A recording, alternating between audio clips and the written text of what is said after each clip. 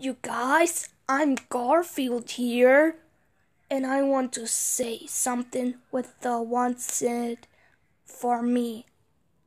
John is a good person. He's living to this place, and John is a human. John has a pet called Odie because I hate Odie. I mean Odie.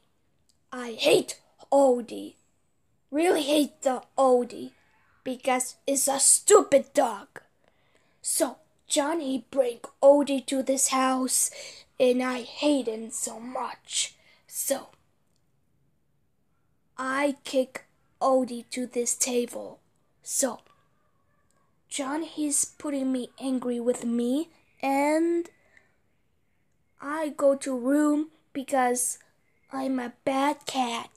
Okay, Goodbye.